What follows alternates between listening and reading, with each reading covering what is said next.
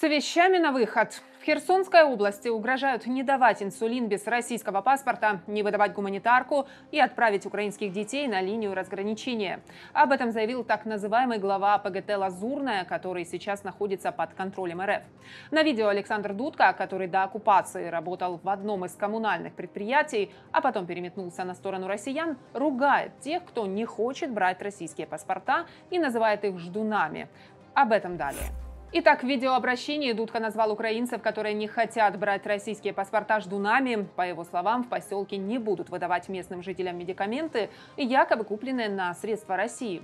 В частности, инсулин, который нужен больным диабетом. Вышло уже официальный документ о том, что медицинские препараты, приобретаемые с бюджета Российской Федерации, гражданам иностранным, то есть гражданам Украины, выдаваться не будут. В первую очередь это касается инсулиновых, которые на себе уже прочувствовали, как быть гражданином другой страны.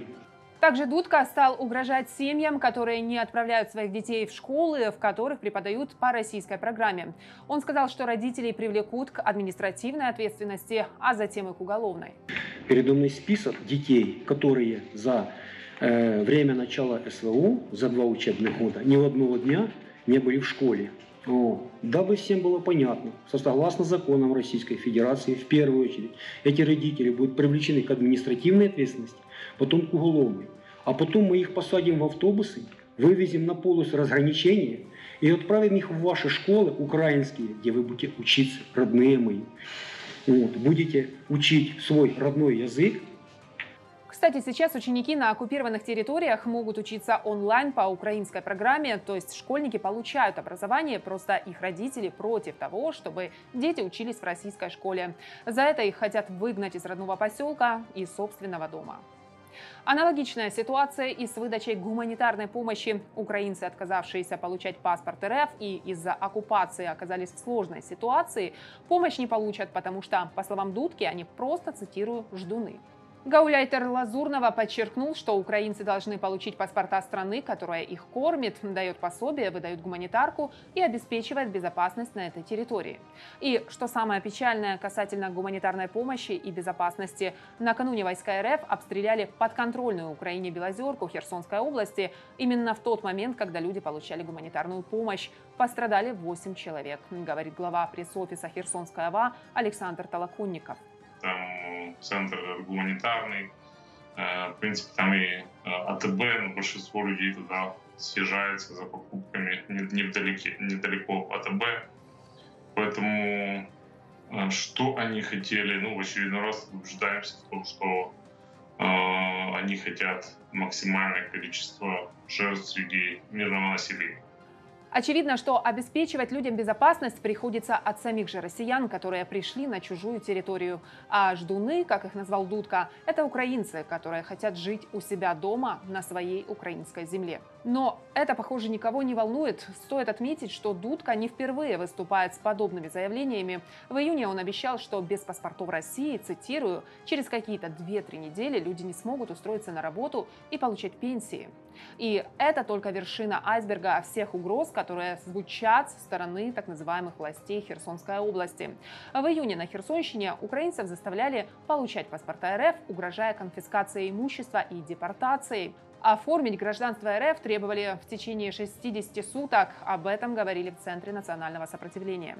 Там также сообщали, что россияне поголовно проводят обыски, пытаясь выявить партизан. В частности, сотрудники ФСБ РФ обыскивают частные дома и проверяют документы у людей.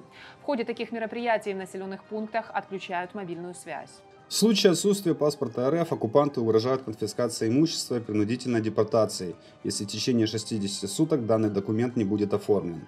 Во временно оккупированном Геническе пошли еще дальше. Угрожают местным без российских паспортов депортацией в Сибирь, сообщил генеральный штаб ВСУ.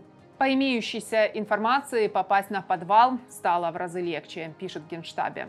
А еще коллаборанты, желая выслужиться перед российскими властями, постоянно клевещут на местных и проводят безосновательные проверки. От подобных репрессий страдают не только жители Херсонской области. Аналогичная ситуация и на оккупированных территориях Запорожья. Там также постоянно проводят обыски в домах местных жителей. В случае отсутствия российского паспорта людям угрожают арестом и проводят более тщательные обыски, чтобы найти доказательства сотрудничества с украинскими партизанами. Это подтверждают и свидетельства людей с оккупированных территорий Херсонской и Запорожской областей, с которыми удалось пообщаться на условиях анонимности, пишет Deutsche Welle.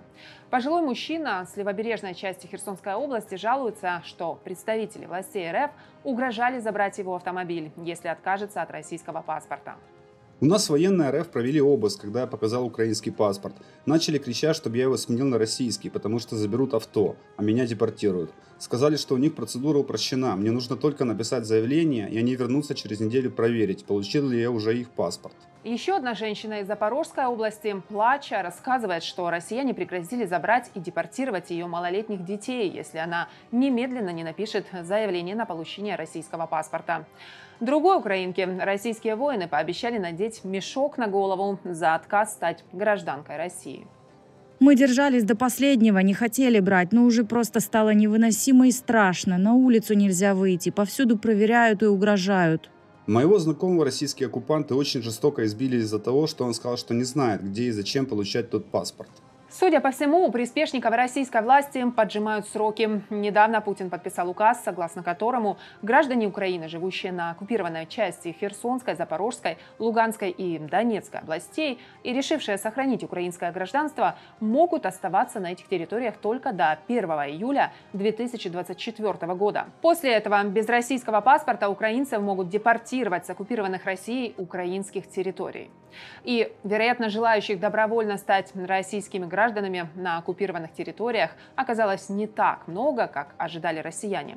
Поэтому власти начали применять террор, ведь былые способы, такие как обещание изменений к лучшему, подкуп гуманитарной помощью, у них не сработали. А что об этом думаете вы? Пишите в комментариях, также подпишитесь на наш телеграм, там первыми узнаете все главные события о войне.